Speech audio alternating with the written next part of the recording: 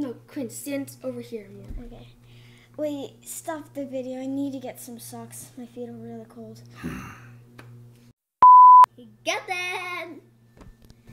She should have had this ready beforehand. Yeah. Whoa. I'll be right back.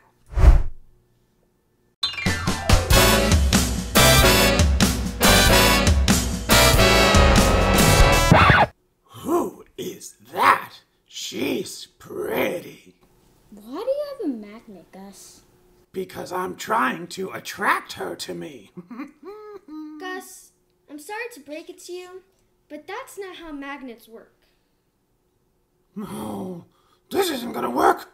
Will you at least tell her I said hi? Can I have my sock back? Have you ever played with magnets? They're pretty cool, right? Actually, a long time ago, people thought magnets were magic because things would move without even being touched. So, what exactly is a magnet? A magnet is a rock or piece of metal that can pull certain types of metal towards itself. The force of magnets is called magnetism. It is a basic force of nature, like electricity and gravity. And magnetism can either connect or move an object away that are made of substances made with certain materials, such as iron, nickel, cobalt, and steel. The force of magnetism is due to the motion of electric charges. A magnet can't pull things like paper, glass, or cloth. That's right, Quinn. Magnets can only move things that are made of iron or that have iron in it. Magnets are normally composed of metal, iron, or other materials with a lot of iron in it, like steel. And there are different types of magnets, like air core magnets, electromagnets, and permanent magnets. There are also magnetic rocks called lodestone. They are found on the Earth's surface, and people used to make them magnetic by rubbing iron on the rock's surface. And by doing this, this made the electrons inside them pull in the same direction. But the magnets you normally see every day are mostly man made by using electricity. So, what is iron? Iron? Iron? What is iron? well, Quinn, iron is made up of tiny particles called atoms. Iron atoms are made up of 26 electrons. But why are magnets important? Well, magnets are kind of fun to play with, but they are very important and used in a lot of different ways. Magnets are in most electronic devices. Actually, anything that has a motor has a magnet. Televisions, computers, iPads, tablets, phones, microwave ovens, they all use magnets to work. They are even used to keep refrigerator doors closed. And magnets are used in medical devices to create a magnetic picture, and they're also used in trains as well as to slow down roller coasters. So, how exactly does magnetism work? Well, a magnet is an object that is made of materials that creates a magnetic field. And the magnetic field is actually invisible to the human eye. The two ends of the magnet may look the same, but they do not work the same way. And believe it or not, magnets have a north pole and a south pole. If you get two North Pole magnet ends and try putting them together, they will push away from each other. And it's the same thing if you put two south pole ends together. But if you take the end of a North Pole magnet and put it near a South Pole magnet end, they will pull towards each other. Hey, guess what?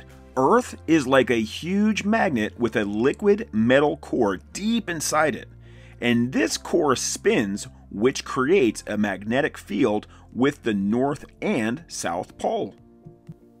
Before GPS satellites were made, a simple tool called a compass was used. And a compass comes with a magnet that balances, and this is called the compass's needle. One end is marked with an N for north, or at least labeled to show that it's pointing north. Because of the Earth's magnetic field, this magnetic needle was drawn to the magnetic North Pole. Electricity and magnetism have a strong connection with each other, and this is called electromagnetism. The term comes from knowing that a magnet can create an electric current, and an electric current produces magnetism. And without it, we wouldn't have electricity or even electric motors. Since most magnets you see are man made, they lose their magnetism over time. And this is because they weren't originally magnetic before someone made them. And dropping them, or heating them, or even hammering on them will also make magnets weaker. Scientists actually believe that birds can find their way home by using the Earth's magnetic field to lead them back from long, distant flights. Superconductors are the strongest magnets and are made from coils of wire. They are used for creating electricity. Hey, guess what? Did you know that veterinarians will sometimes use magnets to recover wire or metal from the stomach of an animal if it swallowed something like that? Some farmers even give their cows a magnet to swallow. Ooh. That's very true, Gus. In fact, this small magnet attracts nails and wire a cow accidentally eats. And without these magnets, the metal could move through the cow's stomach, damaging the cow's other organs. This is a cool fact. Some cereals have enough iron in it that pieces will stick to a magnet. And like we said before, a magnet always has a north and south pole. But even if you cut a magnet in half, it will actually make two magnets, and those two new pieces will also have a north and south pole too. The Earth's magnetic poles are always moving, and they move several miles every year. And believe it or not, Earth is not the only planet with a magnetic field.